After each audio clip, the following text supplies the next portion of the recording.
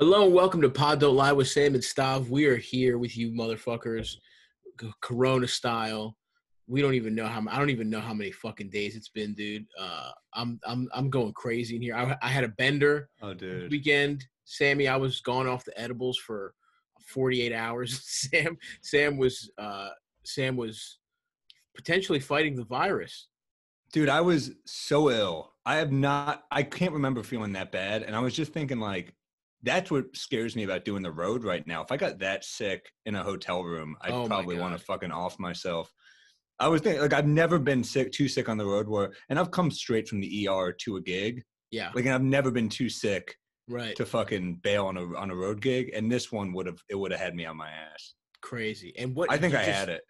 It just out of nowhere. Like you haven't been going anywhere, have you? I went. I've got the only place I go is a grocery store, and I wear the Yeah. mask. And Yeah. of course, I'm like listening to my girlfriend be like, "This is because you went without me," and I'm like, "Yeah, that's why I got it." You're. Although the Yeah. truth is, she might be right because I'm sure I was like fucking scratching my head or something at some point, just being Yeah. an idiot, Being But, you know, reckless. it just, just being, re- and then you know, dude, you were like, you were like Ewan McGregor in Trainspotting level of bugging out. It Yeah. sucks. yeah, dude. It fucking I I couldn't get up. Like you have to get up. She's just forcing me to drink liquids, and you cannot. You're too weak to get up. That's fucking wild, dude. And you were feeling this happened just on set like that. You were just feeling good, and then I, I had a few glasses of wine before bed on Friday. I got some horrible news. A friend of mine passed away. So Oh, you know, you just want to fucking. I know, man. Yeah, sorry to Fuck- hear it. From alcoholism, and I and I sell and I'm like, let me fucking Yeah. remember him by doing like an idiot. Uh, you know, terrible news I get. So then I I go to bed. I wake up wanting to fucking die. It's horrible. And you know, you're Christ. like you're getting those texts from. I, yeah, I don't mean to be a downer here. I'm getting those texts from friends like, let's like start a group, and I can't respond because I'm just like I can't. I slept all day. I'm taking like the little cannabis drops to just pass out. respect. But- yeah, that's that's what I did too. I had like I had a back injury. I don't know. I tried to work out, and I immediately fucked up my my ass. I think I mentioned that. I was I was I was standing up for our our Patreon episode with Tom Thakkar. I was literally standing because I could not sit down. oh, and then I had just a bad headache, so I just was like, "Yeah, I should start doing drugs again." And I just got so fucked up for the whole for 48 hours. I completely just blacked out the days. you had you had your Rodman. Yeah, I really did. Except, yeah, Your 48 hours. my 48 hours was just watching movies, eating Chinese food. That was my wild time. But uh, I Yeah, was man. dying, dude. I'm so glad it's gone. I was I was in hell. I was in fucking Fuck. hell. Just back and forth from Sopranos and Seinfeld reruns. That is and scary to hear. Passing out. dude and i think it's we've all gotten to the point where it's like i don't know if you feel this way but it's like it's been so long at this point that we've been confined that we're just like mentally part of me is like all right this is over like this is how long can this fucking i'm done like i'm ready to just go outside and then you hear like you know you hear about you getting sick or you hear about just like you know atlanta opens up georgia reopens reopens like their malls and shit, and then like a thousand people get it the next day, and you're like, "Fuck, we're gonna be in here for a while." Dude, Um, it's one of the things I feel like like Bret Hart just put you in like the sharpshooter and you're like, all right, I tap out. And then he just keeps you in the sharpshooter for like another four months. right, and you're like, yeah. all right, dude, I gave up. I know, dude. I really know. And then, and I'm getting to the point where I'm like, should I just, should I put a hazmat suit on and cut a dick hole out and go fuck some, go fuck somebody? Like, I, it's been so long that I've gotten pussy that I'm like, and then I saw one of my friends tweet about how their roommate went, their roommate broke broke quarantine to fuck, and she got coronavirus. so I'm like, What fuck, dude. I can't even, I can't even like sneak a little, a little pussy in here. No, you can't. It's gonna it's gonna get dude, it's I don't uh, know, man. I And might. I think about all the all the roommates like that have had like you know male female roommates that have definitely fucked out of this. It's- oh, dude, it's so ha- many. Absolutely. I mean, I've dude. done that. I've done that not during coronavirus. You know what I mean? Yeah, Just like out of boredom. Like you're telling me that hasn't happened. totally. I'm looking at my fucking male roommates. I'm sizing them up. I'm saying who's who's one is too hairy. He's out. But the other one, dude, kind of a smooth boy. You know, I don't know. He's got a nice big big full lips. now the penis is going to be a problem. I recognize that. that is one of the biggest stumbling blocks to me having sex with my roommates. But Give me a couple more weeks in here, man. Who knows? this is like the Seinfeld where Kramer starts greasing himself, and you're just looking at your roommate as like a little chicken. You just one hundred percent. He just looks to me like a pocket pussy with eyes. Um, any fucking way. We. Uh, I'm. I'm sorry to hear you were sick, bro. Um, the last dance saved me because I woke up still feeling pretty rough yesterday, but I was like, all right, I got I got the last dance tonight. That'll we had help. some good episodes too. Sunday were they were they were they were fun. There's a lot to yeah. cover. So we should mention, guys, for everybody listening at home, we on the second half of this episode, we're going to be joined by Dan Soder, and we're going to be talking about uh, Denver. He's a Denver boy. We're going to be talking about Nuggets, and we're also going to be talking about the first episode of The Last Dance. This is kind of a weird recap that we're doing because for some reason Soder only saw one of them. I'm not exactly sure why. I'm guessing um, it's because Billions aired probably Billions, the second t- episode. Yeah, which you know, Dan, Dan's going to be our second Billions uh, alum uh, for the yeah. for the podcast. Um, actually, third. You you you played his. You were in his corner. You're technically right, part man. of the Billions was... universe. billions in DC, man. I, I, I had a, I had a right. lucky year last year.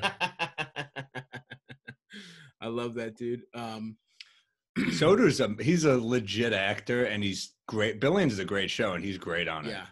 So so we will be recapping the first episode, which dealt with a lot, dealt with the Dream Team mo- mostly, but also really covered a lot of shit in there. I mean, that was that was uh when they that episode covered, or was this the second one? I forget. There was a lot going on I'm trying to. Re- I have. I have it here in my notes. Yeah, the first one. Second episode is mostly the Knicks. Yeah, the first episode was Kobe Dream The first Team. one was Kobe Dream Team. Yeah. Uh, all the Jordan Brand stuff. It was all the, and then it was also it Which also fascinating. On, also t- uh, touched on all the Harvey Gantt, Jesse Helms, the Republicans still buy sneakers comment, all that stuff. So we'll talk all yeah. that, all that with Danny. But for this one, we should start with episode two, which dealt mostly with uh, it's him getting his three peat where you have to go through the Knicks. There's some agonizing, there's some really tough highlights to watch as a Knicks fan. Definitely tougher for you. Oh, I was oh, not even cognizant. It hurt. Um, it fucking hurt. I don't see. I don't remember that year. I was too young. Right. But that I, year the next year is the next year is the first one I kind of remember, which this, is, is also agonizing. Yeah. The next year was even more agonizing because we came even closer. But yeah, uh, without Jordan. To take the first Jordan. two games off Jordan, we took the first two off Jordan. Yeah. Uh, Xavier McDaniel, like they didn't really go into it, but he was just a killer in the postseason for us. He was he played well against Pippen, so but they well. just had they, they just had more talent. They showed the brief highlight of Jordan going fucking off at the X Man because because of uh, just getting in his grill because he felt like Pippen wasn't doing it enough. Um, yeah. Uh, so that so that was what's going on, and the gam they dealt with all Jordan's gambling a lot, which is intertwined in that episode. Um, yeah, and, and Barkley they talked Barkley too. Talk Barkley, of course, his MVP season. Um, but I want to start. The gambling stuff was fascinating. I want to start talking about the man who's my who's my background. I, don't, if for those of you looking at this visually, and for those who not, um, the guy. So they showed the guy with the fucking crispy ass, fucking delicious perm the gray, the gray, the gray-haired, skinny, fucking wiry uh, security guard that was playing that weird quarters was gambling on who can throw a quarter closer to a wall with Jordan. It's a it's a fucking problem you have.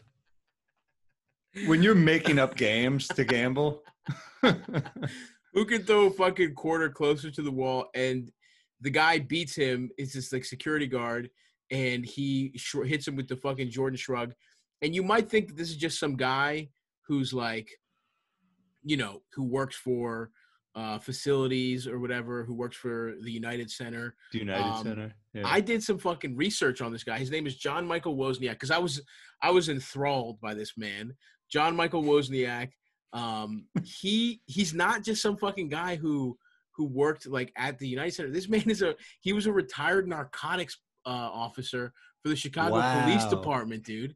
He got the job. He's he was George's private security detail. He would later go on to fucking run security for Jordan at his house for the rest of his life. The guy, unfortunately, the guy passed away. He had like colon cancer. Uh, but Jordan continued. He kept on the payroll until the day he died. He was like a security guy. He looks just wow. like some old, like wiry, fucking, you know, he, he kind of has crackhead. I'm not gonna. I don't want to say the guy has crackhead energy, but he does have. it feels almost like a reformed. Like wow, we gave these guys that were on the streets jobs at the United Center. It has he had that. he also quality. has like a he has like a DC supervillain quality too, though, doesn't he? Like, like he looks like he would fuck with Batman. This guy. yeah, yes, There's no absolutely. question. Um, he he um. So yeah, he just it's just fascinating apparently, and the Jordan Wow. he became friends with Jordan when he when his son was he was a, he, the guy had a newborn. This guy John Michael Wozniak, and he crashed. He shattered Jordan's the rear uh the rear windshield on Jordan's SUV when he was parking it for him because he Oh was my like, god. he was sleep deprived. and then he Oh was like, God. he was like, it's the first day he's working for Jordan, and he's like, I apologize, I have a newborn at home. When I get my paycheck, I'll I'll uh, I'll cover all the damages. And in the in the article I read, it said Jordan appreciated the honesty, and from then on made special requests for Wozniak in the future. But I'm kind of wondering, did Jordan make him pay for that? because that would have been so fucking wild. He's like, I appreciate it. And then two weeks later, he's like, "So that's going to be two hundred forty-two dollars." And the guy's like, "Uh, yeah, of course, Michael." but but yeah, dude, this guy is fucking wild. They called him Hollywood. He was he was like an insane. He was a narcotics officer, and he volunteered to work like the most dangerous areas in inner city Chicago in the Oh height my of the crack epidemic. Like he's insane. He was just like he did. He was not afraid of anything. He's fucking wild. Just keeps a keeps a perm. Um, it- it's just a hilarious guy, and um, yeah, no cop would have a perm like that. This Yeah. guy's good. yeah, I trust this dude. He uh yeah, dude, it's weird. A lot of the a lot of the guys who work at Gotham Comedy Club are ex cops, so a lot of them went undercover and one of them uh was telling me about it and just shit he, he went undercover with the Albanians and the Hell shit yeah. that he's seen. I cannot he's been shot. He killed a guy and then this guy tried to avenge him. so he Holy shot him shit. twice. Both of his arms were in fucking casts for what months. the fuck? Yeah, dude. He sh- he came up to him and shot him twice, and he survived it. I mean, he's a cool motherfucker. Christ. But but he told me he's like, he never can look over. He can't not be comfortable. He's like, I can never be comfortable. That's crazy, dude. It's yeah, I mean, they didn't go into whether this guy. This guy looks like he went undercover buying cocaine for sure. This guy, this guy, this guy, this guy looks like he's he he started in crack, but they moved him up to cocaine to infiltrate discos very very quickly, dude. He looks like he never left the hairstyle. Um, to take your your Doug Collins rollerblading comment, this guy definitely he Yeah. cuffed people while on rollerblades. No hundred percent. This guy met Doug Collins at a disco doing cocaine in the bathroom. That's how he got his foot in the door with the Bulls. him and him and Jerry Curl, fucking Doug, became boys. That scene in Boogie Nights when Mark Wahlberg and John C. Reilly are just like dancing to the Yeah. new 80s, that was him. He was just like Yes, doing that dude. little disco dance. Absolutely, dude. Um, he fucking rocks. I love this guy. And uh, uh, yeah, so Hollywood, Hollywood, fucking Wozniak. Um, just you know, they call. He was like he was he was his own brand before he even met Michael because he was bracing a couple screws loose, you know. So Michael put him on the team. This is what other cops said about him. Other cops were like, yeah, this guy's fucking crazy. so this guy rocks, dude. I love this guy. And apparently, one time he got him. He he gambled with Jordan all the time, and one time he beat him at pool at a Christmas party, and Jordan sent him home. he was like, Oh my god. he was like, I do "Yeah." love that he that he does the same shrug as Jordan in the fucking So in the in the uh in the series against Clyde Drexler after Jordan went he off. hits him That's with the, the shrug. Yeah, he hits him with the shrug. What a, so funny. This guy rules. I wish we knew more about him. Um, and he he had he had he got a Jumpman tattoo on his arm, and then a 23 dog tattoo on the other. He this guy is so fucking cool. Uh, I love him. So shouts out to we. I just wanted to give John Michael Wozniak the highlight he deserved. He's Um, awesome. but yeah, let's talk a little bit more about like the rest of the episode. I mean, I think it was so it's crazy. It it hurt that it took Jordan's degenerate gambling for the Knicks to go seven Yeah. with the Bulls. yeah, that's It really- It hurt that it took him pulling an all nighter in AC and probably losing a shit ton of money for us to be like, we got a shot. This is our year. It felt it felt like he was toying with us. Total. That's so disrespectful, dude. It wasn't like like I had. I mean, I knew it was against the Knicks, but I, it's like you forget. It's that is the one good thing about this like documentary. It does put everything. Sometimes it's shit you you know about, but it puts it in like a context and like a chronological order that makes you recognize exactly what's going on. Like you know that he's at the ho- you know I but for some reason I thought this was at like the all nighter was against the Nets in like the first round, but this motherfucker's doing this shit in the conference finals. It's it's insane to be doing that. It's like game two. You already lost one. It's it's funny. Everyone lost praises one. Jordan. Everyone praises Jordan for his work ethic, but he is getting fucked. You never see him without a cigar in his mouth. You're like, this is not a healthy guy. yeah. He seriously always has a cigar in his mouth to the point that I'm like, the amount of cigars that we've only that we've just seen in Oh, the yeah. footage is enough that you're unhealthy, Hundred percent. and you That mouth- always are clearly doing it. I know it would be it'd be hilarious if you at least you don't inhale a cigar. It'd be really funny if, if Jordan was a hookah guy, just, in that little back room smoking shisha, just with like three Persians. Those his security details, three Persians with their with silk. Looked- dude also jordan's fashion choices are so questionable he's wearing like white like khaki pants with a black sleeveless shirt and a hoop earring and i'm like who the fuck dressed you it rocks. That is so funny. How he's that's like how cool you are he's the most famous guy of all. And he look. Here's the thing. He doesn't start looking dorky until he gets older. Like in the t- in, even in that time, he's so handsome. He's so like a such a magnetic presence that you're Yeah. like, yeah, dude. I kind of want a beret and a and a leather trench coat. I'm like, I think I can pull off leather trench coat beret. I think that's my move. and then you're like wait a second he's just dressing like sam kinison it's just that he's fucking attractive you know Hell yeah, dude. Sam Kinison Jordan's awesome. That's an awesome fucking guy to be. but dude it Give me hurt because- ball. You you realize, and I hate to get back. You know, it's only a matter of time before I get back on the Knicks. But it's like, dude, Ewing just did never had the offensive help that you like. That Yeah. team is comparable to the Pistons because of how they play.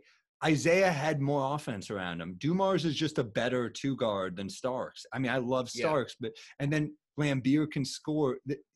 Oakley can score, but he's a defensive player. X Man sure. is a defensive player. Starks is like he's a three and D guy, but he's not a scorer. You know, he's not like Right. a playmaker. and that's the thing they did talk about them almost as like the heirs to the the Pistons sort of legacy, but it's like the Pistons had a lot more offense in terms of like Yeah. especially like they were kind of built it's not like they had a fluid offensive game but they did have a lot of guys that were like i mean isiah could go get you buckets and that's kind of hard in the in crunch time i mean isiah is a small guard and it's like but you don't want your offensive i mean Shaq had this problem to a certain extent too where it's like crunch time you really need a wing creating it's hard to get the ball into a fuck. i mean philly this year has that problem where it's like embiid is without a doubt their best offensive option but it's like at the end of the games, how do you fucking feed a big man? you- it's really Did you hard. hear the the murmurs in Philly how they wanted maybe maybe trade Ben Simmons for uh, Damian Lillard some sort of package? Wow, that's crazy. I, mean- did not hear that. I mean, maybe it's bullshit. I saw a few Instagram posts about it, but like, I man, that. a picture Lillard on the Sixers, how sick that team would be. totally, totally. But that's still, that's crazy. I mean, Lillard's way better, but he is older. yeah, and and it would. Hmm, this is fun. We should talk about this on the Patreon episode. Let's do some trades on the Patreon episode. Um, well, you know we're covering CP3 to the Knicks on the page. yeah, oh yeah. Because you know, as as long as we don't give up too much, I'm loving it. Because we're not winning anyway. Let's. I'm actually with it too. I, I think it's a good move too. I, I brought the I believe if we go through our text messages, Sam, I brought this up to you maybe a month or two ago, and you were skeptical. So it's nice. I to was see you turn skeptical just just because of the money and because, but like at the same time, like I just want that guy in there because he's going to Yeah. be good for the young players. Right, a culture setter. But anyway, listen, we're going to be talking about all that stuff on our Patreon episode this Thursday. Patreon.com slash pod don't lie. Sign up. We got some heat on there. But um no, to go back to what we were saying about the Knicks, yeah, dude, it was a hard, it's like you see some of those scores too, and it's like the Knicks put up like 68 points like in some of those games like it's disgusting i was looking at some of the like you see some of the, you know i don't know about the bull series but it's like the pacers some of those playoff games are like 74-69 and it's Yeah, but you think you think horrendous. James Harden's going off for 40 against the Knicks defense with X-Man and Starks and Ewing and Oak? Like they're they're D'ing them up tight, dude. Well, I mean, but that's that's that's interesting though because it's like they're going to be spread the fuck out. The the Rockets are a really interesting team to say to play against those Knicks because it's like Russell Westbrook is the fucking power forward. Who that's who Ewing's guarding. Ewing was a two-way killer though, man. Like I that- know, that's I why know. that's why I felt bad for Barkley because he just like Kevin Johnson's a great point guard and Dan Majerle was a great player, but like they're just not comparable to Jordan's supporting cast. So like you got to feel for Barkley because it also it made me sad seeing Barkley interviewed by Scott Van Pelt afterwards because you could just sense that Barkley like it's a bummer that he's not friends with Jordan anymore. It sucks Yeah. because they went through battles together and then they were teammates together on the dream team and it, it, it made me a little bummed. I, I I feel like this is a big blind spot for me. I don't remember why that because he questioned Jordan as an executive. Uh, He said he's not doing a good job and he spoke honestly and I think it pissed Jordan off. But Yeah. that's who Barkley is, man. Like I think Jordan That's fucking ridiculous. I But mean, and, and if there's a problem with this documentary and Jordan in general, it is that sort of like there can be no second guessing. There can be no, you can't, you know, take any shots at me whatsoever. yeah. I mean, that some of this does feel like we're in the. Sometimes the documentary does feel like they they're whitewashing it, which I, I was at, which I'm actually glad that they brought up, um, that they that they brought up the the the Gantt Helms thing where he wouldn't endorse, you know, the first uh, Democrat black legis- uh, state senator senator from North Carolina in history against a repulsive person. Yeah, but you know like what? You know what? It made me miss Obama so much because Obama just speaks so fucking reasonably about stuff. Like yeah, just but the he was public he didn't say shit, dude. That's classic but- politician but- shit. I know, but yeah, but okay, what would Trump? Trump would just been like, he's a loser. yeah, but that's He's a fucking can't- loser. yeah, Obama was like, look, I mean, Like, look, like- I would. Well, he said, look, I would have liked for him to speak out, but he, but he was a guy who was trying to figure out who he was and what his image was, and ha- like that was a thoughtful response, at least, as opposed to fucking Trump, who just would have behaved like a child. yeah, I mean, the bar is fu- that's that's a low ass motherfucking bar. I got to be honest. All right, Against well, a white supremacist, he should have endorsed him. But anyway, whatever, it's fine. He should have. Obama- He should. He he made enough on Nike sales that he yeah. should have. yeah, he maybe- wasn't he wasn't hurting. Let's put it that way. They, cut to the guys like can't speak. He- like, black people are the worst, and oh, and Jordan's like, look, my hands were tied. Look at his feet No, though, and they pan down, and that guy's wearing Jordans. Except for their footwear, they can't do anything right. Well, dude, that was that was that was crazy that he didn't because I you know, know that like he cut it. He cut a check, but it's like, yeah, the money is not no, the same. he's the most famous person in the world. You don't think that fucking tips that election at least a little bit? Uh, anyway, we're getting into the next episode, the first episode, and actually, I see here on our Zoom link, guys, that we have our boy Dan Soder.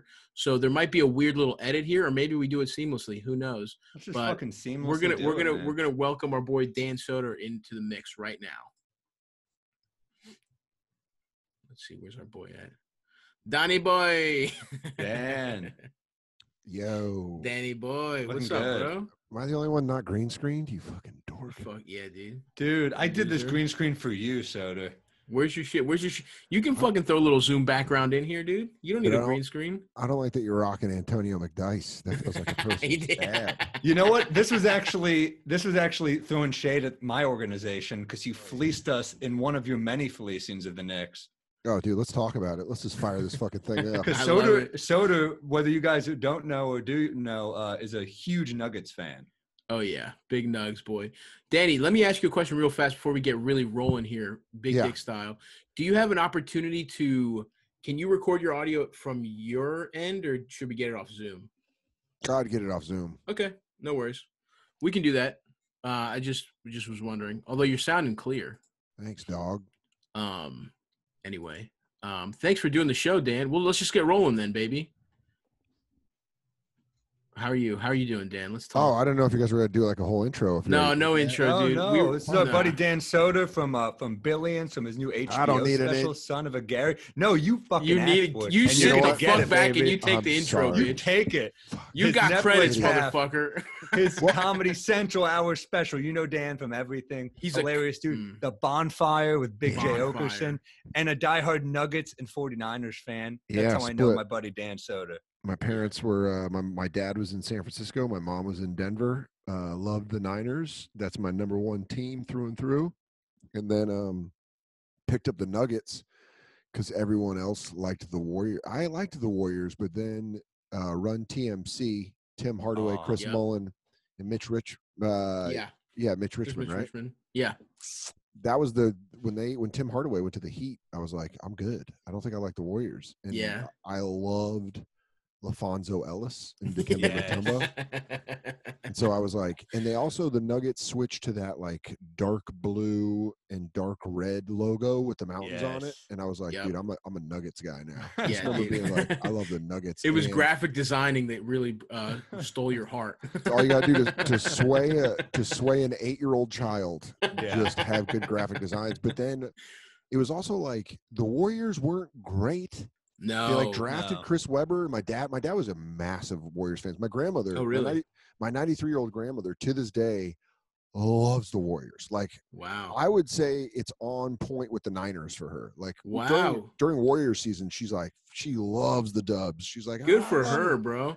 Yeah, but then it's so weird because I chose the the Nuggets as kind of like a fuck you to that family. Yeah. And so then now when I spend time with her and the Warriors are like a dynasty, I'm like, you know, you guys bought your dynasty, right? You know, you like bought it. She's like, I like the way Kevin Durant plays. I'm like, well, he's a hired gun, so have fun with him for another year.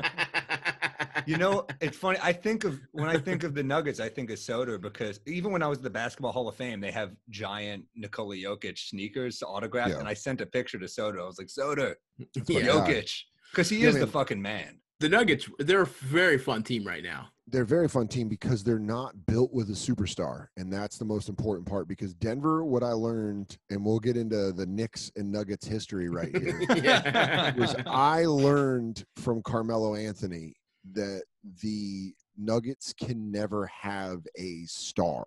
They can never Mm. have a guy like um, LeBron James or a Carmelo Anthony or Dwayne Wade. Yeah. Like Carmelo works in Cleveland because he's from Cleveland. You mean uh, LeBron? LeBron. Le- yeah, LeBron. LeBron works in Cleveland because he's he's from Akron, and it's Right. like, all right, you got to you got to Right. Be, There's you're a that hometown kid. mythology, the hometown hero mythology. Yeah, it's like, like Rose in Chicago. exactly. It's almost like you can do oh, like Chauncey in Denver. It was like True. you can't do anything wrong, and then watching the Nuggets front office just be like, whatever you want, Melo, whatever you want, we'll go and get it for you. Then that 09 team that lost to the Lakers in the Western Conference Finals because of two Trevor Ariza steals. That was the Yeah. reason the Nuggets didn't go to the finals that year and play the Celtics. That was a great series, though. Great, Great series. series. And, Great and I series. love Melo, Melo had one stinker, but to his credit, after that, he played like a fucking warrior. Dude, he was, aw- he was a stone cold killer, and he could Yeah. take that shot at the end. And I loved Melo, and I was all about Melo. He came in, and we immediately went to the playoffs. We got knocked out of the first round by the Spurs like the first five years.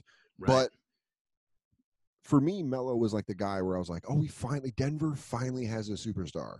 yeah, And you saw him. and he truly was. In that, in the beginning of that bona fide superstar, man, with Melo with the braids and those shiny ass fucking powder blue jersey, that was Yeah. those are beautiful. The Those Nuggets, coke, those coke dealer blue. that was- yeah, yeah. That That was team what's was awesome though, because that team was built for him. Once they got Billups, and they had you know Ke- uh, Kenyon Martin and Marcus Camby. Dude, that was Chris, a cool and- team. But then you also remember young J.R. Smith. We had Yes. uh, we had an off the bench Birdman who was playing Loved his him. balls off. Yep. Camby was a little past his prime, but playing his ass off, and there was also a lot of good. Defensive Player of the Year, wasn't he? One of yeah, those dude, years. they they set up the Nuggets to be this great team. We lose to the Lakers. We kind of knew we were old, and then Melo starts putting a stink out of like, Yeah. nah, I, I want to go to L.A. or New York. And then the fucking Nets owner was the one that fucked up. That Russian motherfucker was like, "How much money you want to play for me, Carmelo? I give you everything." And Melo was like, oh, f- straight up fuck the Nuggets. And he started Right. getting booed the last half of his season. Nuggets weren't a playoff team. We weren't good. And so when Melo gets dealt to the Knicks, which I knew was going to happen, and I was Yeah. fine. I was fine if we got, no, like, you you made Gallo- out I was- beautifully. Yeah, I was looking for Felton and Gallinari. I was like, if we can get Gallinari and Felton and a couple draft picks for Melo, fucking beautiful, because he's going to walk away from this team regardless. yeah. Then they dealt Chauncey, and I was like, that was fucked up. Like that was a fucked up move for them to be like, give us Chauncey because Chauncey's the king of Park Hill. That guy's like a Denver legend. I did not even realize he was from Denver. I did not know that. Yo, man, he won a he won a senior high school championship by pa- making a pass off the back. I think at the Civic Center. It might have been at- might have been at McNichols Arena. But that he, rocks. Before he was Mr. Big Shot, he was known as Smooth. That was yeah, his dude, he was so Oh, good, dude. and he went to Colorado. He went to like he turned down Duke and North Carolina, and I think it was actually he turned down like Kansas and UCLA to go play at Colorado. Did a season. Wow. He was still a lottery pick with the Celtics. Him Yeah. and Mercer. Went, like, Unfortunately, had had Pitino in the mix. Yeah, then he got dealt to Denver. Then he went to the Timberwolves. Then he went to the Pistons, became Mr. Big Shot, came home to Denver as like this seasoned fucking point guard. He's to this day my favorite NBA player outside of Shaq. It's, Wow. It's Chauncey. I love Chauncey too. There's something about the way Just he love him. plays where he just controlled the tempo. He was just fun as hell to watch. He was just a good basketball player. And he's Yeah. like, Solid. and yeah. you saw like everyone around him, like without Chauncey Billups, that 04 Pistons team doesn't beat that Lakers team. With no Yeah. chance. No Because chance. you got you got both you got both the Wallaces and you Yep. got like a, a Tayshaun Prince who unbelievable, but I don't know if he's that leader. And No. Billups, dude, Billups, I fucking love Chauncey Billups. You're absolutely um, correct. Where he was, he's like he's fucking he's at the head of Voltron. Yeah, Yeah. He's you RZA. that. You know yeah, what I you mean? Need, you like- need the dude yeah. with the vision of like, Yeah. oh, we can beat, and we got by some some tough teams in the playoffs with Chauncey at point guard. But the entire reason I brought this up was because now the Nuggets have a team where it's like, oh, we don't have a Melo. Jokic is our biggest star, and Nikola Jokic is just like a fun, goofy Saint Bernard dog. where he's just like, I like basketball, and Denver, Denver's nice, and you're like, thank you, But he's a top three center in the league for qu- dude. no I think he's a top five player in the league. really. he finished he's a- top five last year at MVP I think he's a, voting. I think he's a top five player in the league. He just the only way I can describe his playing style is it's not the prettiest, and it's not, It's most- pretty though. It is pretty. I like it. I think it's, It's got- pretty. dude. Honestly, once I say this, good luck watching him and not seeing this. He looks like a dad playing basketball in a pool with his kids. You're right. So, doing like- this move a lot. Dude, just the way he gets the rebound, his elbows are above the water, and you know because he's taller than them, he can just like put it in. But the motherfucker balls out. And Yeah. what I like is they have Jamal Murray is such a great just piece to have. Yeah. We, we have like the Yeah. big guy that can do everything. You have a you have uh, Jamal Murray that can just go off. I love Gary Harris. I love that entire team. And I was really, really bummed that the season got canceled because I truly thought it was going to be a Western Conference Finals between the Nuggets and the Lakers. I thought that was Wow. going to be. I thought we were going to get because we got close last year, got knocked off by the Blazers in the semifinals. We're weak now. Yeah, but I think we took a chunk out of them, and that's why. I mean, the Warriors were the Warriors, but I think we we took them six. We took Yeah, but six games. I Seven, will- seven. It, it went was seven. seven. We and won that one game game six. was like triple overtime, and Rodney Hood just fucking went off. right, right. yeah, right. that was like the most. uh Jokic clocked the most minutes ever played by a center. I think. Oh my god. Like, But was you guys. I gotta say though, I mean, I think that's a nice optimistic fans view. But I think it took you guys a lot. I think, I mean, it took you a lot to get past those Spurs that were not good. yeah, like just I- straight I- up not good. Well, the moment that it happened was Jamal Murray was like 0 for 11 in the game. Yeah. He, he had gone off, and everyone's like, and dude, I remember watching this game. Who was, call- it might have been Isaiah Thomas calling the game because Jamal Murray hits a shot, and Isaiah Yes. just goes, sometimes a shooter just needs to hear that net snap the right way. And then Right. Jamal Murray went He fucking did. He had a huge fourth quarter. yeah. and blew that fourth quarter up. Nuggets win, and I think that set the tone where the Nuggets are like they're a, uh, so much more of a mental team than I think a lot of like the Lakers or the Celtics or these people with like histories. I think the Nuggets are like fuck. Like I think they still feel like an ABA team a lot of the time. yeah. they're just like, I, should we even be here? I don't know. Yeah. And then when they get games like that, they're like, oh yeah, we can. That's what happened in 09. They were like, oh, we'll ball with anybody in the league, and they just had this attitude of like, we've got a superstar, we've got great players, and so I Yeah. think that's what the this Nuggets team was missing was like that confidence of like a Chauncey or a Melo to be like, we got this. Right. And but I think also it's like the problem is sometimes I do worry about overall the plan is because I think you guys are investing a lot in Murray. And I think he's good. We're, I mean, we re-signed him. I, I Yeah, super max. could- I mean, you gave him the max, but it's like that's what that's kind of what scares me is like, is he if he can turn into the complementary wing scorer that Jokic needs, if he can turn into that guy who he showed up as in that fourth quarter. But and I, I'm not I'm not I'm obviously not quitting on him because he's fucking good, but that's a little scary, man. That's what happens sometimes. Teams get fucked giving because you just basically have to give the max to your second best player. But that happens in every sport. Every sport, Yeah. they're like, you have this unit that works, and you're like, well, we have to pay one of them a lot. Yeah, Jokic we're and him both have the max. Yeah, Yeah, and Jokic and Murray makes sense. I I love Gary Harris, so I wish it would have been Gary. yeah, They got the max, and we'll see how Michael Porter. That's true. That's your big. That's kind of the big like wild card with the Nuggets. Well, for MPJ sure. Because the Knicks passed on him famously for Kevin Knox, and there were boos, man. Dude, my, I 'cause remember that. Jr. can This is- fucking it's gonna look so stupid. If- if Why you think off- Michael Porter's going to be a stud? I think he's gonna be better than than Knox. Yeah, unfortunately. I think he'll be better than Knox. I don't know. Here's the thing about Michael Porter Jr. He was like in the summer leagues, he was tearing it up, and everyone's Yeah. like, "This guy's fucking." He, the Nuggets got the steal, and this is after. Uh, this was in between last season and this season. He- They're like, "He's fucking killing it in summer league," and then he gets injured again, and you're like, "Fuck!" Yeah, And then he's like injured again, and you're like, "Fuck!" So, it's but he was coming like- on nice this year. I don't know. I think he's the one that I'm. I would be very, I would be very hopeful about that guy because it's just like he kind of provides a weird that scoring punch you could need a go-to scorer. He kind of if he pans out, he solves all your problems. Yeah, well, Uh, he's, Yeah. he's a small forward that fits in for like we're gonna lose Millsap. We can't Yeah. afford to keep Millsap now. for sure. Max. I love Millsap though because he he does it all, man. He's, He's a- like an he's old a- school player. He is without a doubt. Watching this, The Last Dance, you're kind of like, oh yeah, I forgot that the league was filled with guys like Paul Millsap. Right, Yeah. right, right. You're Like, right. Millsap was a second round pick, dude. He played behind Boozer on Utah. You forget that guy? Like no one was high on that guy. And then he comes. He was an energy Utah- guy. He comes into Utah and he's a fucking all star. And Yeah. like, oh shit, all right, maybe we fucked up. He was great in Atlanta too. Before Yeah. that, He was I mean, really when we got good. him from Atlanta, I was like, I remember that free agency. Everyone was like, the Nuggets just took Millsap, and I was like, I'm kind of okay with that. We're building a Smart. team. He hits threes. He plays D. I love him, man. Now the problem with um, the Nuggets and Sam will know more about this than anything as a Knicks fan is our front office consistently fucks itself. yeah. We had- when we used to have George Karl back with the Melo days, Right. after we had when we when we dealt Melo to the Knicks, we got like Felton, Gallinari, we got a we got basically Yeah. Wilson. Chandler, Mozgov. Mozgov, Two we first had round picks. Two first round picks, and we were running everybody out of the gym. We were putting up like 125 points a game. Yeah. We got Karl got coach of the year, our GM got GM of the year, and then they got fired. Like, Only the fucking Nuggets, who you want to talk about players that we've passed on. When we used to, when Kiki Vandeweghe used to be our GM, we fucking drafted Raef LaFrentz instead of Vince Carter. So it's like, yeah, we've Kiki Vandeweghe is one of the all-time s- sounds like a sexy divorcee names that a man can have. yeah. I'm trying Vander- Kiki Vandeweghe sounds like a woman that dances with a boa around her neck. Yeah.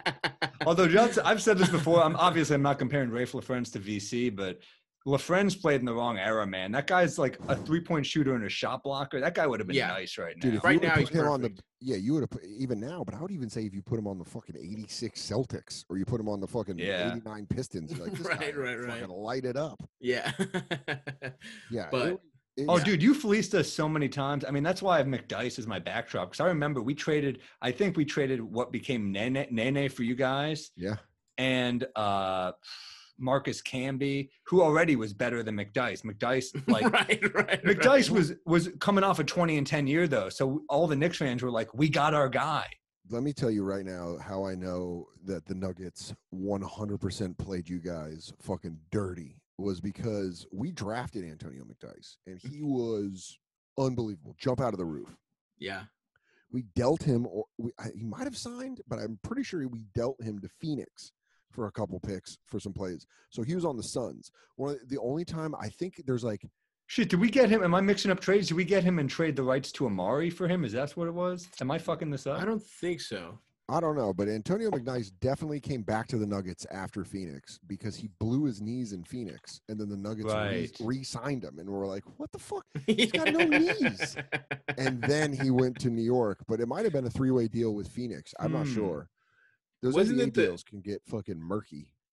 It was Camby, dude. It was Camby. Here's we go. The the Knicks sent Marcus Camby, Mark Jackson, and the rights to Nene, uh, who was just made the seventh overall pick to Denver. Great.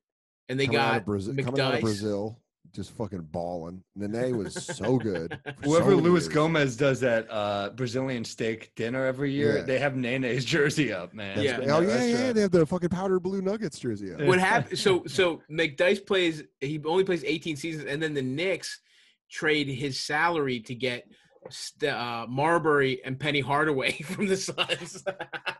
you want to talk about it? for Amar'e, right? What's that? Didn't they, didn't they deal Penny and No, I don't think so. Then who did the Knicks trade for Amar'e is a good question. Uh, There- no, no, nobody signed for free agency. We, No, no, but I mean, we we did a trade involving him. I, I think I think Dan's right. I don't remember. yeah, 'cause, Amar, the Knicks got Amar'e in a trade. no, Knicks dealt Amar'e to Phoenix. I thought. oh, Yeah, here After? it is. Oh no, you know what it is? The Knicks acquired Marbury, Penny Hardaway, and Cezary Trybanski from Phoenix for Antonio McDyess, Howard Eisley, Charlie Ward, and Maciej Lampe. oh, Magic know Lampe. what? Remember him, Dude, yes, and also Sam. and Milos that's the deal. Vujanic. You guys got you guys got McDyess. I think he got injured in New York. I fucked this up. and Yeah. then he went to Phoenix, and then he came to New York. Because, dude, I remember the Nuggets were so fucking bad that we went to a game, and uh, by the fourth quarter, we went. We were like third row from the court. Like that's how bad it was. Yeah. it's like we just fucking walked downstairs, and we we were getting blown out by Phoenix, and everyone's like, "You can just fucking sit wherever the fuck you want to." And I remember McDyess got a Sports Center top 10 dunk. And in the background of the dunk, me and my three friends are walking th- from the aisle into the seats. it That's was me and my friend Dennis and my friend Joey. And, and they called, I remember at school the next day, they're like, because we went on a weekday, which was like a big deal. And the next day at school, he's like, Did you see we were in the fucking background of McDyess's dunk? And I was like, No. I went home and watched Sports Center and never saw it. Damn, dude. Respect. You guys, you guys did fleece us though many times. I mean, the the, the rumor in the Carmelo trade is that, that the Nuggets were already shocked at how much they were getting from the Knicks, and then Dolan, and then Dolan came in and said, "You want everything?" And he pulled his pockets inside out, and he said, "He goes here, take another first round pick." And they were like, "Wait, what?" Brutal, dude. He, I, I'll tell you right now, the fact that we got anything for Melo Unbelievable. because he publicly was like, I'm done in Denver. I'm going to New York. He said it. He said, I'm going to go to New York or LA. Specifically, that's what he said. He, goes, He "I'm gonna go couldn't to stomach another half season of booze, and that's probably what happened. But Yeah. Well, they. I mean, the Knicks really fucked up because d- fucking that the was Nets Dolan. Were, ru- the Nets were rumored to be trading for him. That but was the the net, rumor. but then the Nets trade. No, that season they trade for Dur- uh, Deron Williams. So they're not. They're done. They and remember, people forget how good he was because No, I don't, because he knocked Arizona out of the fucking tournament my senior year. like My, he, my senior yeah, year at U of A, we were in the Elite Eight against Illinois, and we were up 15 with 90 seconds left, yeah, killing them. We he was killing 'em. insane. And, And- and and his- Brown, that was a good and, team. Yeah, him and Dee Brown. Dee Brown hit like five threes in the last Yeah. 90 seconds, and you're like, Jesus. Yeah, he was, dude. He was so good in his prime, and he, he the thing people forget about him because he dropped off so hard. But if he was the player, if he if he didn't drop off, if he it was more gradual, those Nets teams would be a lot better. I mean, the KG the KG Pierce trade looks so stupid now, but a lot of that is because Williams fell off a fucking cliff. He was supposed to be the engine behind those teams, and Pierce and or Garnett especially was supposed to be like you know the aging the aging guys that were there to you know provide support. But and Joe Yeah. Johnson too. and Joe Johnson, of course. But they it all was fell like off a cliff. But dude, Deron Williams was in the conversation with Chris Paul. Like he would outplay Paul hundred in percent. their It was a real debate. It was, a- Yeah. and it's crazy to think about that now, where Chris Paul is still playing fucking shitty teams into the playoffs, It's and crazy. Williams is doing TikToks with his daughter. oh, yeah. oh, you see that? Where you're like, oh man, you were the truth, and it's like, It this so is good. huh, rock. This is- like, oh, god damn it! Oh god damn it! Dude, I remember when we got Melo from you guys. I remember the first night I was at the fucking comic strip and I was so jazzed up because they played on the TV. They played the song Black and Yellow, but they Mhm. played it to Stat and Melo. And I was like, oh my God, this is this is gonna work. Yeah, dude. This is actually gonna happen. Well, that was that was when fucking oh, Dolan really fuck because before that, Donnie Walsh was doing a good job, and if the Yeah. Knicks had just gotten Melo in the offseason or like not just given them more, I mean, Melo with all those guys, Melo with Danilo and fucking Mozgov, Dude, it would have been crazy. It would have been Crazy. crazy. Also, the, the the the fucked up part about the whole Melo deal was like he just straight up was like, "Man, fuck you guys. I don't want to come here." And we're like, "We love you. Please. Fuck you. Suck my dick." And you're Suck my fucking dick. Dude. I have to go. I the have to thing that annoyed a- me was because I was waiting tables at Dos Caminos when it happened. And so, you know, when you're a lunch waiter, you watch ESPN nonstop. It's, it's like the second you're on the table, you're just like, I'll watch Colin Cowherd. I'll watch whatever the fuck is Yeah. on. Of course. Anybody I'll watch. I just wanted to watch something that, you know, just want to get away. And I just remember that trade. They would always put it on SNY. Is that the one that carries the Knicks? Or no, that's MSG. MSG. Yeah. and they they had this commercial running where it was like i'm coming home Yes, I remember that. home." and it's like it shows Melo and it's like welcome back to new york carmelo and it's like hey fuck nuts he was born in brooklyn and then grew up in west baltimore I know. Stop sucking your own dick new york he's not from here That's what fucking annoyed the fuck out of me because we loved him. Yo, Everyone loved he's him. He's got a fucking wb for west baltimore Yeah. on his shoulder it's He went to he went to high school. He went to high school to prep school out in you know in Baltimore County. He was in those stop snitching videos. Dan, are you familiar with the stop snitching no phenomenon? Sam doesn't know about these either, dude. These swept these swept high school when I was in high school. Melo was in like it was in the era of like Wait, was would- that did, did this? Sorry to interrupt, but did that uh, inspire the T-shirts with the stop sign that said "Stop Snitching"? Yeah, I mean, it was yes, it was the same branding. It was the same branding. That was Okay. the DVD cover. This was in the era where people made their own DVDs.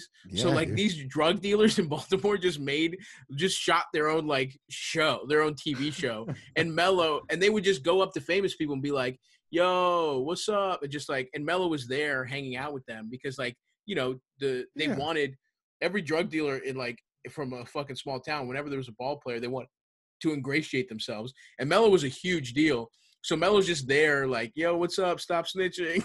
like, and, Yeah, oh my god! and all those yeah. guys like went to jail. Like, Hold you know, the fuck on. Is it this the video, Stav? I'm gonna I'm gonna share my screen real Yeah. quick. Share screen. Make sure me. to do audio also. Yeah, yeah, yeah. I uh I'm I usually use something else, so I'm trying to learn. I usually use WebEx. Ooh, okay. Um, but let's see if we're So when you do share screen, it'll say on the bottom, it'll say uh, share computer sound on the Got bottom it. left. share optimize. Ready, guys? Yes, sir. Oh, wait to share your computer. Please install the Zoom audio device. Ah, damn it. Anyways i don't know if you can share yeah, I'll share. uh here I'll I'm do it right now. i'm gonna i'm gonna stop sharing and then i'm gonna i'm gonna message you the video because i think we need to watch this I agree 100. I got it right here, right, dude. i'm down in the chat but here it is right there there's the youtube video for stop snitching because it's a whole fucking hour and i might get into these videos Dude, they're so good. Hold on, I found a minute 26 with Melo just standing there. So this might be this is exactly what we need. This is young Melo.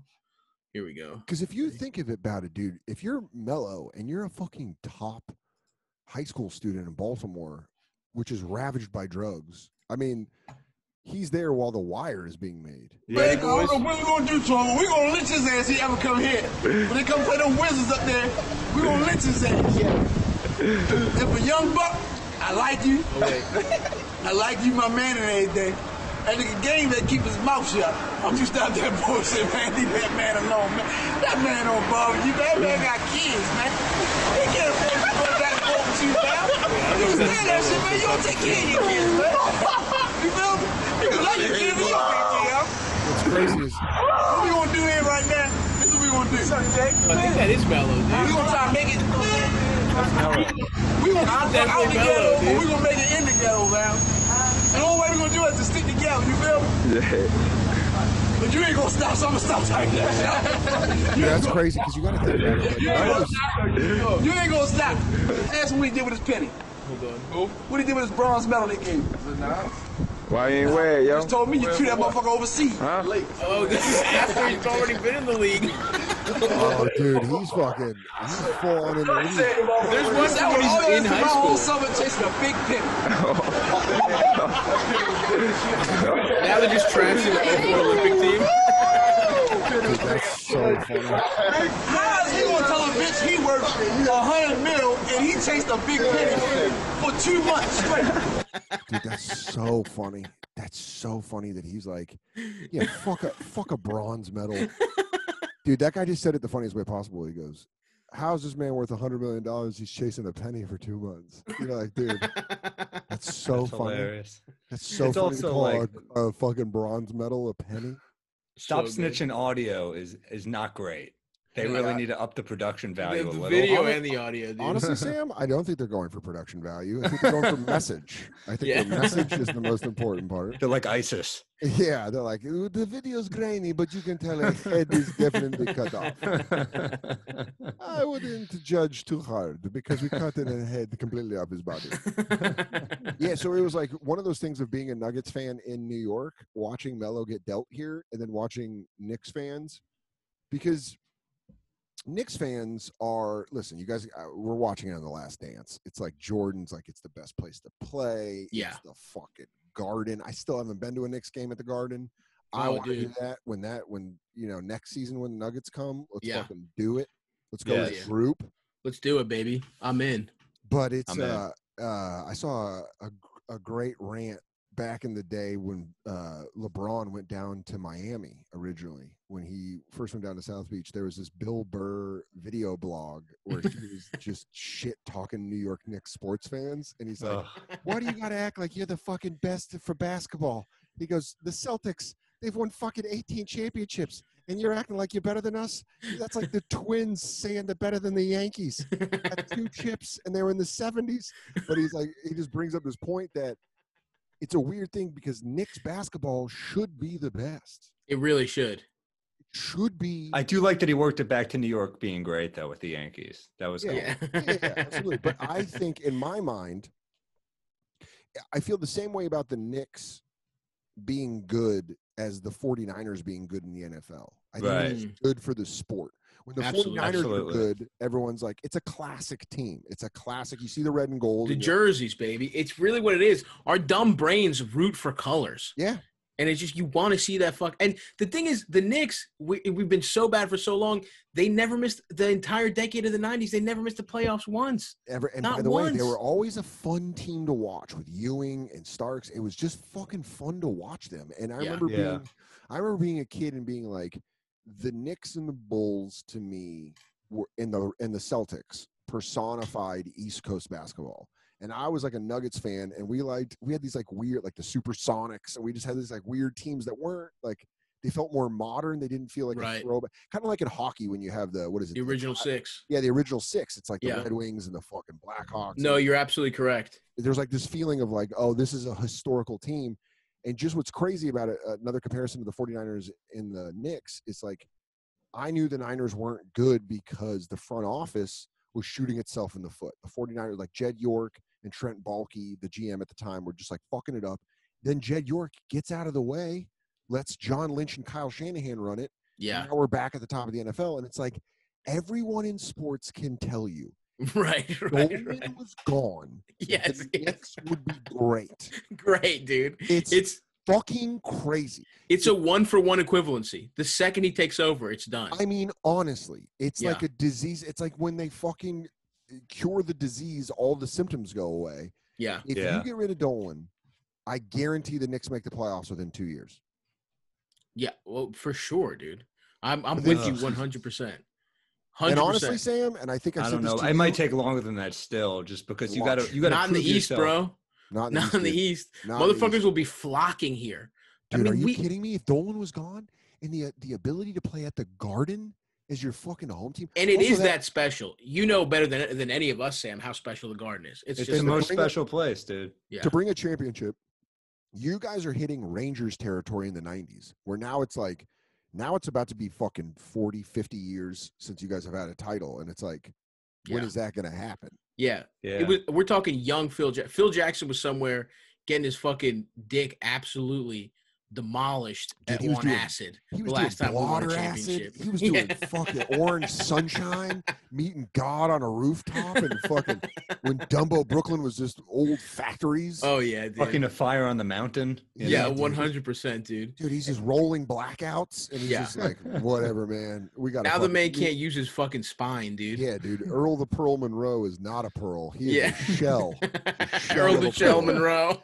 yeah, dude. But he's on it and i sam you're one of my friends that i've said this to several times especially when i was drinking but i said it and i remember saying this to you at cabin one night or i go i'm going to tell you this right to your face the second the Knicks get rid of Carmelo Anthony, the Knicks will be my East Coast team Yeah. because I needed a New York team. And I was like, the second you deal that puffy asshole, I'm on board. Damn, it's funny to have the vitriol from a Denver fan Yeah. who deserves it because I love Melo, man.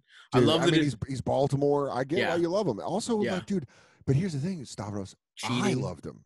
yeah, I loved him. He was like, dude, though he fucking immediately when when the Pistons took Darko, I was like, well, here we go. yeah, absolutely. That draft, that fucking draft, I was like, when Cleveland got when we got the number three pick, I was like, all right, well, here we go again. We're gonna get another Raef LaFrentz, Right, right, Darko, right, right, Milla, right, right. Chickalackalackas. Right. and then fucking he, the Pistons are like, we got Darko, and we're like, What? Yeah, Melo to the fell right into your laps.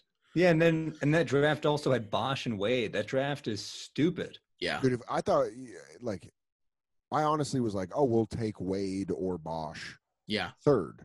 right.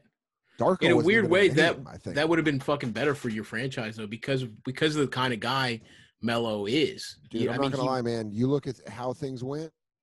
I think if we would have taken Dwyane Wade, shit would be a lot different now. I think A Denver might have had a chip by now. Yeah. No, absolutely. Wade is the kind of guy. I mean, Wade. If Wade goes to the Pistons, that's perfect for them. Dude, if they would have Perfect. if they would have replaced fucking Chauncey with Dwyane Wade. Yeah. Yeah. Or Rip Ham, or you keep But as Chauncey a around and you rookie, as a Rip. rookie, they don't they don't win. dude, he was good. He you was know what though? good. He- What the if he's fuck on the did- bench? If he's on the bench behind On the bench, Chauncey, yeah. and and putting that's not a- scoring punch. He's that the- exactly what they need. Was that the 03 draft or the 04 draft? I think it was the 04 draft. Oh right? No, it was before they won. It was right before they won. So it was the 03 draft. So you have a Dwyane Wade as a rookie sitting behind Chauncey Billups throughout that playoff run. Yeah, Hunt. Yep. Get the fuck out of here. The And one we thing. got him. he we was got great. They took he oh took the Heat to the playoffs as a rookie, didn't he? With Caron Butler and Lamar Odom. That was kind of a sneaky. Dude, he was a sneaky great. fun team. Yo, he was I great off him. rip. I loved him with Marquette. Him and Travis Diener. You should Yeah. fucking. Travis Diener was a white boy that could bang shots. God, he was fun to watch. That is the that is the most three pointer. That's a perfect name for who he was. Yeah, Travis Trav- Diener. Yeah, just let Diener shoot. Steve Novak was Marquette, man. Yeah. No, oh yeah, another Marquette- one. Novak Marquette and puts Diener. players. But it, it is a thing where you you see how it all went, and it was like we got Melo. I was so excited, and then Yeah. for him to be like, "Man, fuck this." And granted, there could have been shit going on in the front office that the fans had no clue about. Like they could have been Yeah. disrespecting him. But from everything that I heard, it was like it sounds like they're just giving him the key to the city, and he's like, Yeah. "Fuck your city, fuck And Totally. Denver's not. It's not like he got drafted by like this tiny market. Denver's a pretty nice market. Nah, Denver is a It's small not- market. It is a small market, and that was the problem. Is because the first thing that came out was when he married Lala. He was like, "My wife can't work here," and it's like, "Well, then live in Denver when you play, and then live in LA." right. Everyone lives in LA off season. Yeah, what are you talking about? Yeah. Denver's a, a- great place to live. Also, you'd think it would give him the discretion to cheat. As a legendary cheater, you'd think he could just be fucking. Oh he would be up God. there, dude. You know how many pasty white women I know that would have just thrown themselves at fucking Bella? dude, my favorite. One of my favorite moments of of reti- semi-retired Melo was when he got caught fucking that lady on a boat on Lala's birthday, and he was like, "Nah, that's my friend's wife. He was downstairs." it was literally Lala's birthday. He's Yeah, trying. so the photos leak on her birthday, and he's like, "Yeah, no, it was a business deal." You're like, what does that mean? It's a Dude, business. but you deal?" you even hear Jordan say like of this top one-on-one players and Melo's in the combo. Like, where do you rank Melo as offensively? Like one-on-one, where do you rank him ever? See, He's I got to be. know. I'm He's got to be high. All right, is that was that episode six of the Last Dance? no, he didn't talk about that. Was not in the documentary. It was on Instagram though. He Oh, just okay. Melo shared it on Instagram, but Yeah. it's like Yeah. where he's Yeah, like, cool. "See, I'm still, you know." Although another fucking- perfect idea, another thing, another perfect encapsulation of who Melo is. You know how they have those interstitials where they have like a famous person or a basketball player talk about what the Bulls meant to them in the like before the last dance. yeah, I think yeah. it was episode three. It was the Rodman episode where Melo was like, "Shoot, I remember being a little kid and seeing Rodman say, I don't even fucking feel like being here,' and me being like, "Yeah, that's badass. And it's like, what? That's what you remember from the Bulls? That's how You you, remember your Rodman being like, fuck this bullshit. you remember just uh, you're like, you know what I love about Rodman? Apathy. yeah. Guy didn't give a fuck, and that's what I. look you couldn't for. watch Rodman play defense once, Melo. Right, yeah. Yeah, dude. Honestly, it was like uh, it was like having a spouse that has a drinking problem and you don't want to admit it. When Melo wouldn't play defense, you're like, Yeah. He's had a he's had a long day. He Oh, scored. dude, when they showed a clip of, of Jordan being guarded by Allan Houston, I'm like, yeah, maybe not the best defensive assignment. You know, Houston Yeah. was the one guy on the Knicks that didn't play defense back then. Yeah. yeah, dude. Great shooter. Uh, I loved when they showed when they were showing the '91 uh, finals, and they were, or it was before that when they were talking about the Eastern Conference Finals or uh, against Cleveland. Yes. Oh, so it was the semifinals. He's like, "You're gonna put Ehlo on me, Right. It was a mistake. Which was a mistake. Craig Ehlo?" Ehlo just caught two stray drive-by shots that that, that episode that he was not ready for. Dude, if you like- watch that, if you're part of the Ehlo family and you watch Last Dance, you go like, "How?"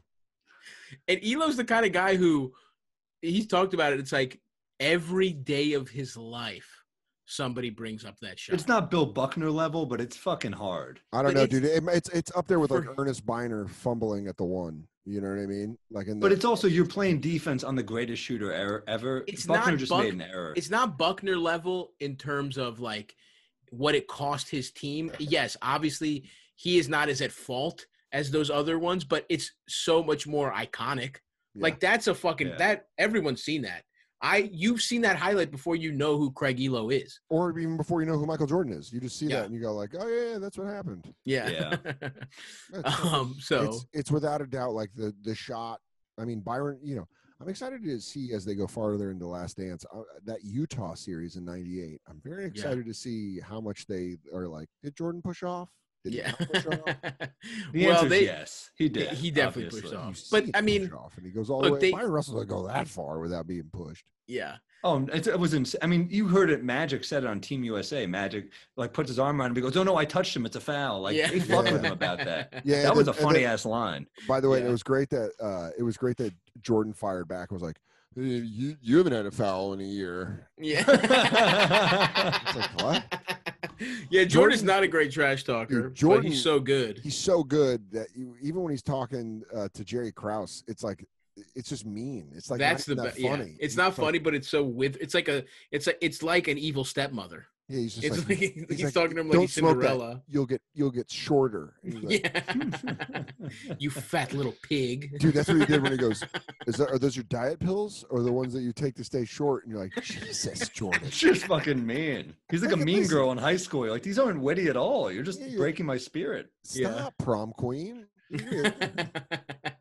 You're- you should yeah, it was so fucking- funny how they just want to destroy anyone Krause even liked. I mean, I felt so bad for. That's one of the big Kukoc takeaways from the like- episode. Kukoc, Toni Kukoc is in the middle of his country being ravaged by war. Dude, and he stayed, It's, and he not even. A, stayed. he had not the even- option to leave, and he fucking stayed. And They're like, this guy's soft. I'm like, they're in a civil war. civil war. It's not even a regular war. It's you, you're Yeah. fighting yourself. Your friends. You're fighting your brothers. Yeah. you got to go get just butt fucked. Everyone And knew by in the way, 92. if Everyone had knew that- in 92 was like, well, the dream team's going to win. Yeah. But if they had Yugoslavia at full strength, and it was like Petrovic and Kukoc and Vlade, and, Vlade. and they combine Croatia and Serbia, they're right. the They biggest only threat to they the only US. lose they only lose by 16. Yeah. Yeah, which is, but that's at that time, dude. Like, Yeah. it's hilarious that Jordan's like, "Let me at him," and I'm like, "Dude, you brought the you brought the 11 best players in the world with you." Your only your player on their level is Christian Laettner. right. Yeah. It's the only player on their level that you're like, Leitner is better than whatever farmer you paired with Toni Kukoc. yeah. Oh, this guy had to sew his wife shut from a fucking shelling, and now he's got a guard bird. You got a guard bird at the end of a fucking. You're like, "Eh, I've, I've watched all my crops burn. My wife, her sister, and uh, my daughter were all raped by soldiers. You want me to key up on Mullin or Malone? You know what I think of when I when I see that is you remember you Hey remember guys, Greg, how we doing? Michael, just Tony's like Michael Scotty, good to see you. And they're just like, yeah, if things if things work out, I come to your dream country, and they're like, fucking rain on them. Dude, but you remember when Giraldo had that bit mm-hmm. about how Greg Giraldo had that joke about going to war with countries that don't even have matching uniforms, and you're like, That's that's how funny. fucking poor these countries are. They're like, funny. they're like, wear something tough looking. Yeah. That's what I felt like. These teams, this is who we're going against. Yeah, Croatia. They're just like, I don't know, long sleeves today. Like, Lith- Lithuania had to do a GoFundMe to get Dude. to the Olympics. They were so, funny. war torn. The fucking that's where you get the iconic like deadhead Lithuania Yes. tie dye. They so cool though. they had to get started to do a fundraiser. They were doing bake sales to get to the Olympics. Dude, that is so funny. Brutal. They go, and in a surprising twist, Czech Republic is going to ask to play skins versus shirts because they don't have enough money for a uniform. They uh actually this was pretty cool last night because Billions season five premiered yeah, shouts out. Yes. and fucking Magic tweeted about it. Magic I saw. like, I brought that up to Yeah, Stabby. we it's were talking incredible. about it. I was like, That's dude, that's fucking great. Magic's like, I love Billions, and you're like, Magic watches Billions. Yeah. Magic knows the name of Mafee. This is Yeah. crazy. Magic knows my big white head. But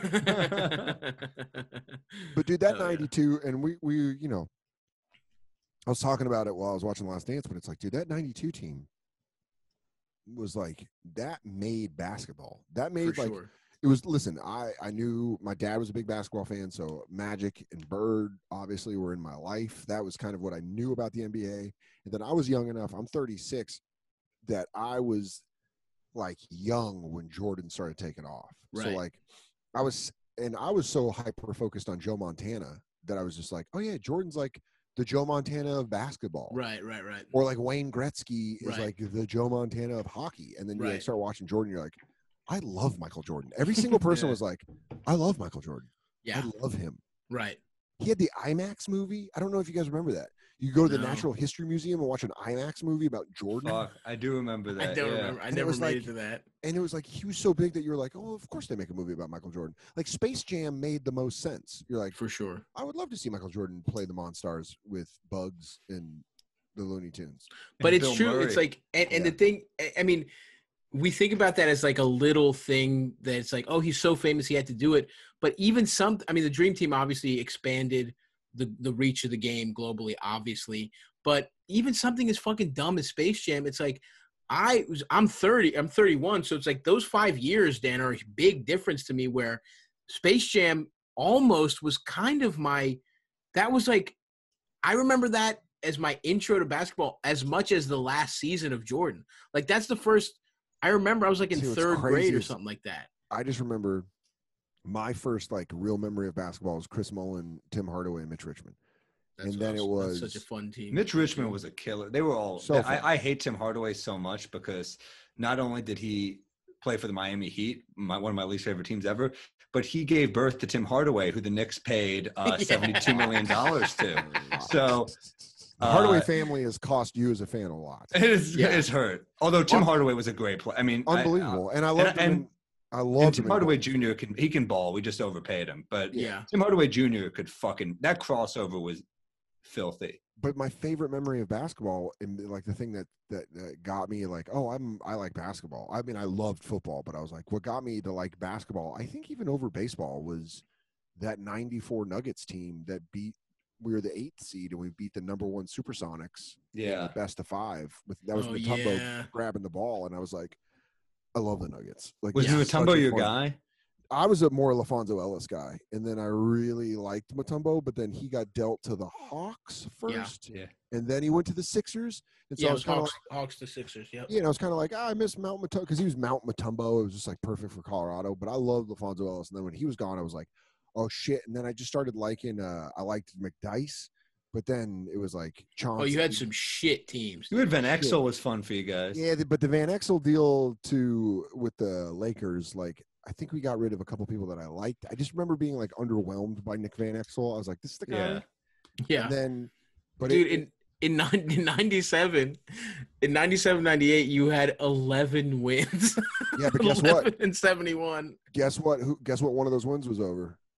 The '97 Bulls team. Wow. We're one of the. Uh, we're one of the. We're one of their ten losses. We're the fucking. That's hilarious. and by the way, Okay, so you traded Tony Battie and Tyronn Lue for Yeah. Nick Van Exel.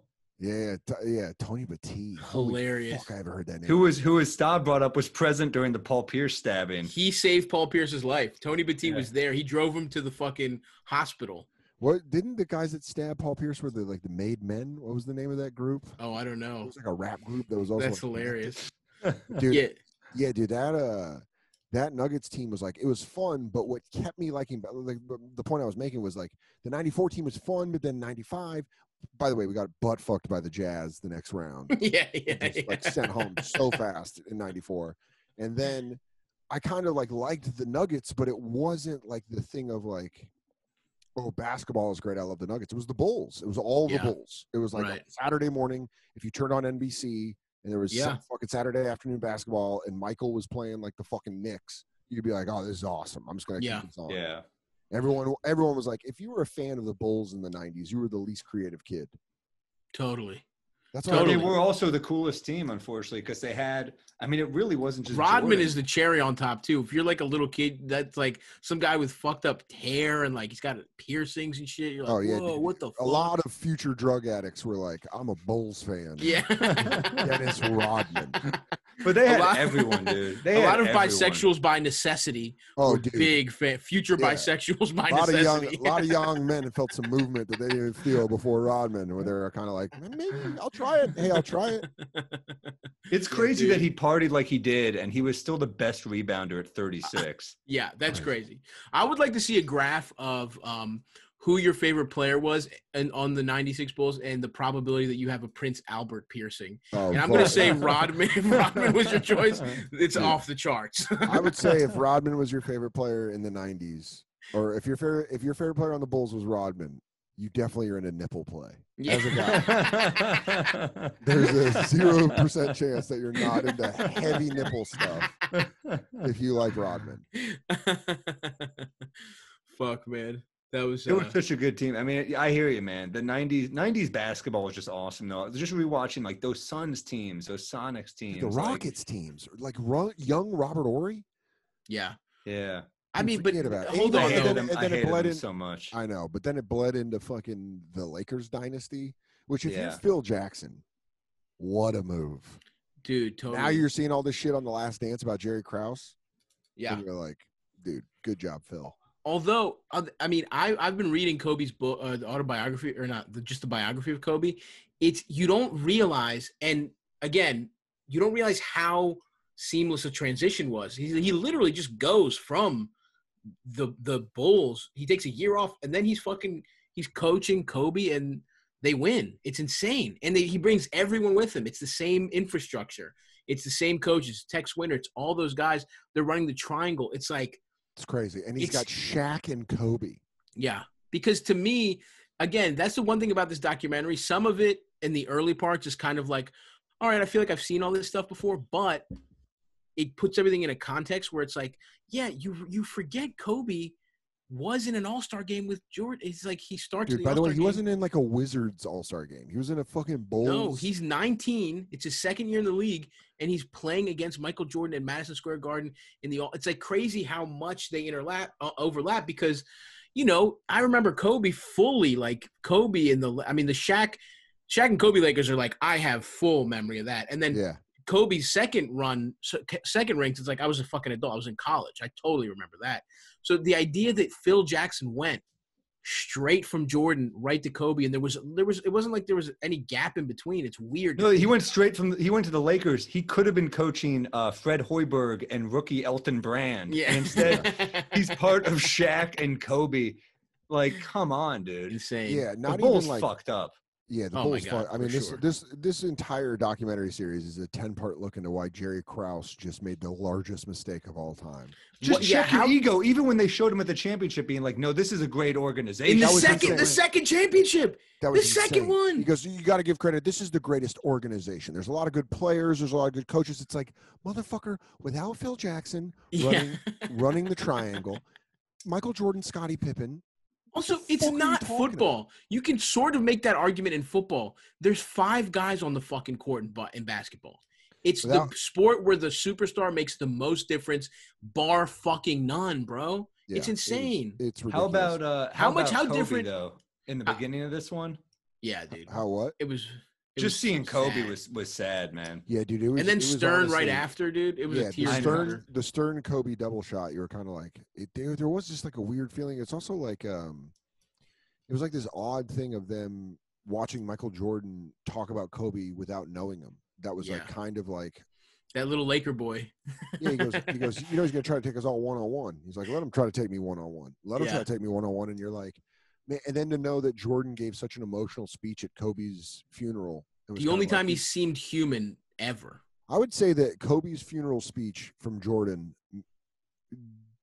made up for, or about half made up for his Hall of Fame speech. I think it, I, I I think it made up for it, dude. He was so in a re, he was just such a real and like it was so touching in a way that you didn't mm-hmm. think Michael Jordan was capable of. Even in this documentary, he's still kind of isolated. I mean, he gets a little real here and there, but still, it's you can see the points where he he's not going to change the way he thinks. He's never going to change the way he thinks Yeah. about Isiah. He's never going to thaw out of some of these grudges. But the Kobe thing was so monumental and it shook him, and he's so human in a way you didn't even think he was capable of. Yeah. Right. I mean, we've done this documentary. His fucking wife and kids haven't come up once. once, once, once. bro. And by the way, It's crazy. probably, I mean, Jordan's got last say, so that was him being like, "Mm, "What's going Yeah. on at home during this time?" He goes, "Don't worry about it." Yeah. yeah. By the way, my eyes are yellow, dude. Why are you gonna ask about my family? dude. I have yellow eyeballs. yeah. It's also like I wonder if uh, now I haven't seen episode six yet. I've Yeah. only seen episode five. Do they get into the gambling? Oh, yeah, yeah, they do. Big time. Okay, good. That was a Six- good teaser. I'm watching six- it tonight. Six is my favorite episode so far. Yeah, I mean, it hurt me because I I- get into the Knicks a lot, but it, it was a good app. I'm It a excited. You guys just for got me. You just got, guys got me gassed. It was better it. than five. Five Okay. to me felt a little. It was a lot of good stuff, but it almost felt overstuffed because you Yeah. have Team USA, you have the All Star game, you know, you have you have the the um or the Kukoc stuff was funny, uh, but then you also have the like the the only time they ever get substantive so far or show him negative in any light is the Gantt versus Helms, like where Yeah. he won't endorse. uh, You make a clear thing, and that so it's like so all that stuff was good, and the dream team obviously you could do obviously you could do it your own documentary on that but it just felt like there was There is a great stuff. documentary on it. I think it's all on YouTube. It's, Yeah, it's only good. like an hour ten. and the book is really good too on, on the Yeah. dream team um but six is like it's really concise it's gambling and it's it's about them getting their third championship so it's just it's very good Knicks and Suns. But dude, you know, Yeah. like that. Yeah, that I still like the first one, but you're right. There, and it takes you back that All Star game at the Garden where you're like, fuck, I forgot about like Grant Hill just being Yeah. like the shit. Grant Hill Yeah. was so nasty. I met I met Grant Hill at a Planet Hollywood in Phoenix, Arizona. Hell after yes. the Pistons played the Suns, my mom was on a business trip, and that used to be our vacations because we got free hotels. that rocks And we went to a Planet Hollywood, and I took a piss next to Grant Hill. wow Whoa. Then I had him sign my menu. Whoa. Do you remember how nasty that that guy was? I mean, he was just like, if he Dude. stayed healthy, yeah Crazy. He was like a 26, five and five guy all day. one of the all-time what if type of guys Easily. And Um, Penny, who was also on that team, two of the all-time So- what if guys. yeah Nuts. dan what would you say your favorite nuggets team of all time was and, and your favorite just your favorite player in general Uh, my favorite player is Chauncey Billups, and that makes my favorite team the 09 Nuggets, commonly Yeah. referred to in Nuggets fan circles as the Thuggets, because they were, Nuggets. that's, that's what a couple of our enemies called us. And uh, we were all. I loved when AI was on the team. Yeah, I know he's washed, but that was J.R. Smith and AI and Yeah. Melo in the fucking in the that powder. In the shiny powder blues. But I like No defense. No defense. No D. But you know George Karl coaching them to fucking 115 points. a I just loved seeing it, dude. I yeah, but that 09 Nuggets team is my my favorite, and then my, my second favorite team actually was last year's team, the number two team, you know, that Yeah. lost to the Blazers because I thought we were fucking great. We were, we had a lot of like different pieces that stood up, and it was just a fun team. Yeah, and I'm guessing your current favorite player is Jokic. Love Jokic. Yeah, he's the best. Love I love He's so lovable. he rocks, man. He's awesome. He's awesome. Fuck yeah, Go dude. Nuggets. Well, thank you, bro. I mean, uh, we appreciate you taking your time. I know you're out. Listen, let's. Should we go through his credits again? No, should we dog. embarrass this motherfucker No, again? Just- Definitely watch season five of Billions. It's such a good show, man. We had, we just had Brian Koppelman on. Listen to that ep if, if you haven't heard it. But you know, so happy to have Soder here. Great stand up comic. Great Yeah. radio show. It's so and billions. I mean, What can't this man do? Stop. Well, I'll What tell, you what can't his, this I'll tell you what his motherfucker do? basketball team can't do is win a championship. Whoa. but Sam, it's been cool because season five premiered. It was cool watching people who were binging be like, "Oh, I just got to the part where Dan Soder gives Sam Morril his weed yeah. in the boxing episode." that couldn't have been a more fun day, man. I I, I love getting to be a part of it. It's such a good show. And it was awesome. You got to eat fucking lunch with Rich Eisen. Mm, Dude, I just I just did a show out here and he brought you up. He was like, "Remember we did that day with Soder?" He's like, "Well, Soder just did my show." And uh, fuck, we gotta man, get Eisen's- Eisen. We gotta get Eisen in the mix, dude. dude. Rich Eisen's the motherfucking man. I love that guy. He He was always the my favorite Sports. Center guy.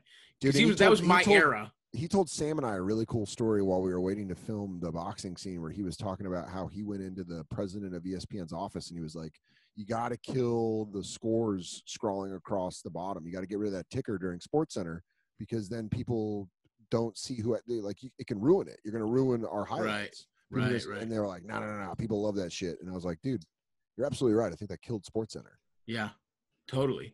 Put keep that shit on E ESPN News. I'm going to Sports Center for the fucking experience, bitch. He was such a good dude, man. He, he really fun. nice guy and Yeah. uh fucking uh Trey Wingo's been DMing me. Couldn't couldn't be a cooler Shit, guy. dude. Come on, dude. Look Trey at you. Wingo's such a cool guy. Hell That's yeah. all I love those those sports center guys are the shit, man. That was our, I mean, Stu Scott in the '90s, man. Yeah, Dude, that's fucking- been, it's that been cool hit watching them. It's been cool watching them uh, show like Sports Center clips. Uh, in the Totally. the last dance, and you're I love that, dude. dude. I remember, I remember being fucking, you know, like 15 years old, eating cereal before school, when you get picked up by my friend, watching Sports Center, and they're like, he did it, he did it. yeah. Dude. Michael Jordan's coming back this year, and I'm like, all right, I got fucking, I got. ge- I got uh, underwhelming geography. I got, ge- geography. I got pre-calculus for the dummies. Dude, it was it was like the original SNL cast, but for sports. Yeah, it was it was crazy. They It were was just so cool, man. Yeah, yeah. It was a lot Sports, of fun. yeah. Keith Olbermann and Dan Patrick and Yeah, fucking We got we got to fucking get one. We got to fucking shoot our shot. Get one of these motherfuckers on Linda Pod Don't Cohn. Lie. Fucking do it. Thanks for having me, guys. Dude, Thanks for- thanks for anytime, on, Danny. We really appreciate you taking the time, brother. Yeah, I miss Uh, you. Hope you're staying you. safe over in the quarantine. Just hanging, dude. All right, brother. We'll talk to you soon. Talk Love you soon, guys. Dan. Thanks, Stay man. safe. Bye.